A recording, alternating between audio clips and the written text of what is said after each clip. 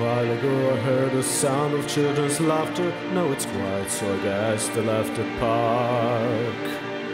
This wooden bench is getting harder by the hour. The sun is going down, it's getting dark. I realize I'm cold. The rain begins to pour as I watch the windows on the second floor. The lights are off. It's time to go. It's time at last to let her